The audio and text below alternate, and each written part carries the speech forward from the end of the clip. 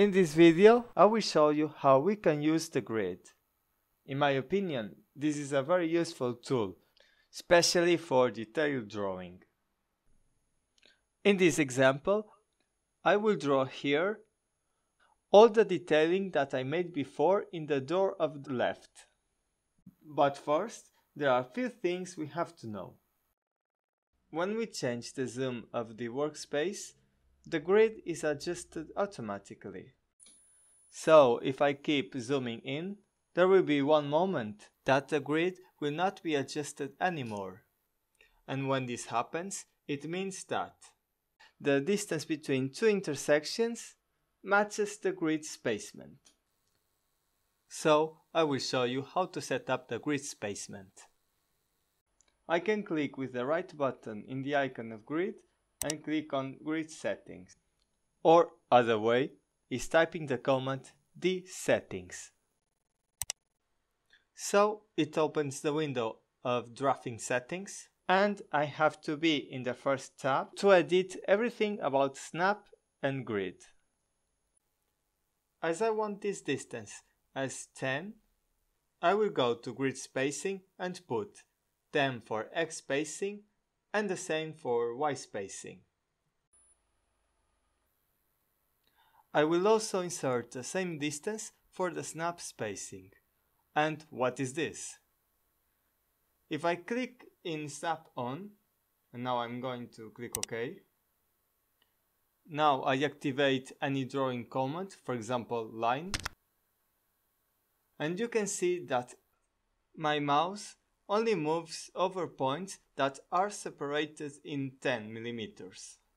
And they match the intersections because I put the same for the grid and the snap spacings. To switch on the snap mode, just click in the button next to the grid mode or press F9. Okay, now I want to show you how to draw this first rectangle. As I know that the corner is located at these distances from the frame, I know exactly where to start drawing. So I go 5 squares to the left and 8 squares up. I draw this polyline by putting the distances of each segment. It's a rectangle with 370 per 800.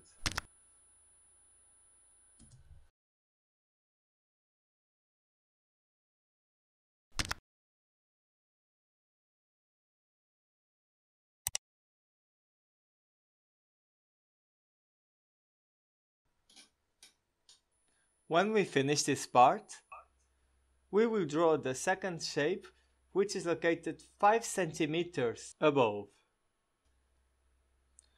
I return to the draw that I'm drawing.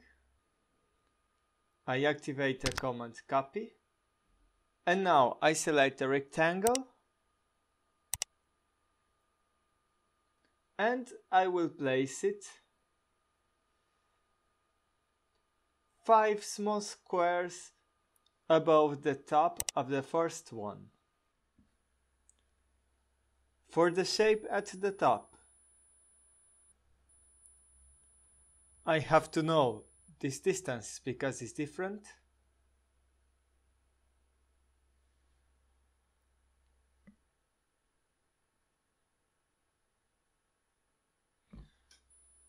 Now, as it's uh, 5 centimeters again above the other one, I place it here.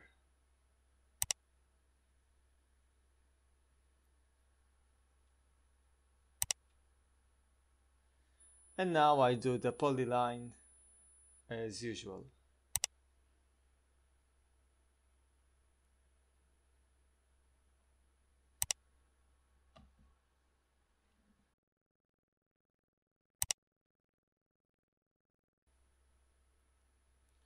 Finally, for the other side, I will use the command mirror.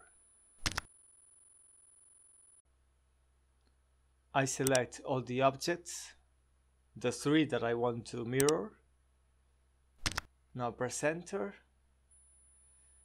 And I have to use the midpoint from the object snap to apply it to this line. I click on the midpoint and now somewhere to make a vertical line. I don't want to erase the objects, I press enter and I have finally finished the door. Okay, if you think that the lines of the grid are difficult to see, don't worry because it's possible to change the color.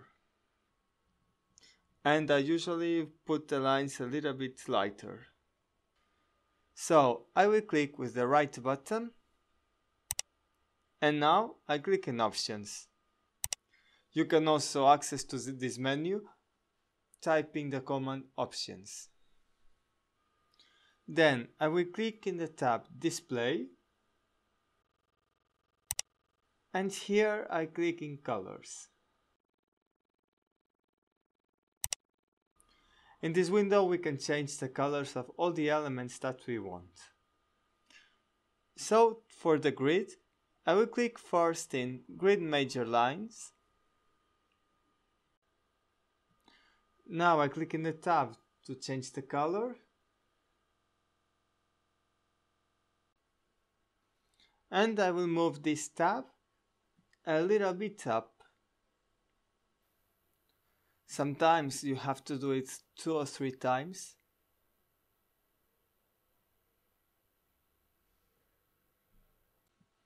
Now I click in OK. Then I click in grid minor lines and I'm going to do the same. But I want to have these lines darker than the major lines. Now I click in apply and close and then in OK. So as you can see the grid lines now are much easier to see. Okay, so that was everything in this video. Thank you very much for watching and if you like this content, don't forget to subscribe my channel to watch the complete list of tutorials of AutoCAD. Thank you and see you soon.